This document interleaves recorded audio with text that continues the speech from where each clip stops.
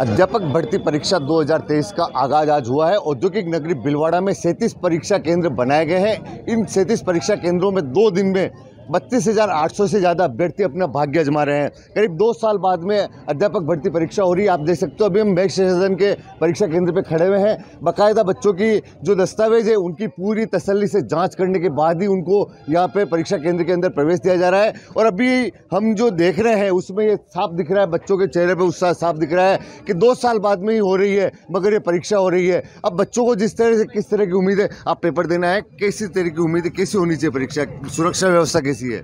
यहाँ की सुरक्षा व्यवस्था बहुत अच्छी है और अपनी तरफ़ से मैंने पूरी तैयारी की है पूरे कॉन्फिडेंस के साथ पेपर दूँगी आगे भगवान की इच्छा क्या होता है क्या नहीं होता है आगे ऊपर वाला का जो सरकार की तरफ़ से जो जिस तरह से दो साल बाद में परीक्षा आयोजित हो रही है जो सुरक्षा के मानदंड है उनको आप कैसा खरा मानते हैं कैसा अभी जो हाँ अभी तक तो बहुत अच्छा है और आगे भी आशा है कि अच्छा ही रहेगा।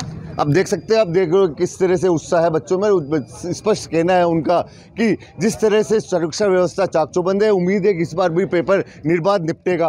अब आप देख सकते हो यहाँ पे ये पूरी मेटल डिटेक्टर से जाँच के बाद में ही बच्चों को परीक्षा केंद्र के अंदर प्रवेश दिया जा रहा है। जो भी ऐसी अवांछनीय वस्तु है, बाकायदा उसकी बाहरी रखवाया जा रहा है बच्चों से और सरकार ने एक बात जो है, वो स्पष्ट कर दूँ मैं यहाँ पर सरकार ने बाकायदा इस परीक्षा को लेकर जो एक सूची जारी की थी, क्या आपको अंदर ले जा सकते हैं, क्या नहीं आप ले जा सकते हैं, इसकी एक पूरी तसल्ली के साथ में सरकार ने और परीक्षा जो चयन बोर्ड है, उसने एक पूरी एक सूची बनाई थी। उसके तहत ही बच्चों को वो जो सूची मापदंड है, उन मापदंडों के तहत ही बच्चों को परीक्षा केंद्र में प्रवेश दिया जा रहा है। अब बच्चों को भी ये ध्यान रखना चाहिए कि वो पूरी सावधानी रखे, क्या ले जाना, क्या नहीं ले जाना, जो दिशा निर्देश है उसकी पालना करें। नवीन जोशी कैमरा पर्सन पवन के साथ फ़र्स्ट इंडिया न्यूज़ बिलवाड़ा